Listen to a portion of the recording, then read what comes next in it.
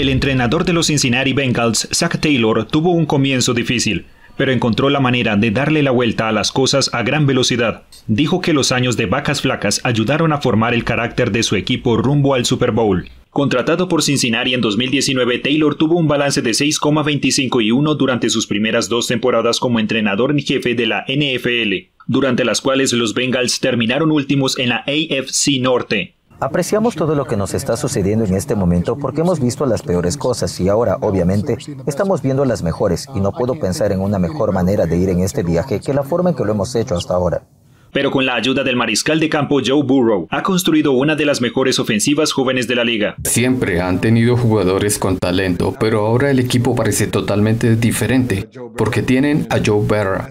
Ya saben, ese es un rasgo que admiro de Joe Barra. Y por supuesto, está batiendo marcas de tacleadas y luchando por las primeras anotaciones y hace todo para ayudar a su equipo a ganar. El equipo llegó a Los Ángeles el martes. Burrow dijo que están haciendo todo lo posible para evitar distracciones mientras hacen los preparativos finales, antes de buscar el primer campeonato de Cincinnati en el Super Bowl. Todavía no hemos tenido ninguna práctica, así que estoy emocionado por salir a entrenar hoy.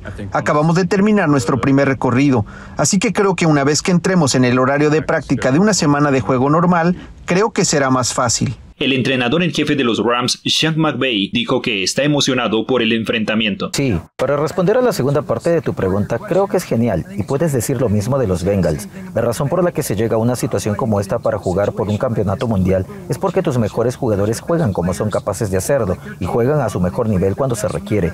Y eso es lo que hemos visto. Creo que esos chicos, los Bengals, han estado muy bien en los momentos decisivos y creo que los nuestros también.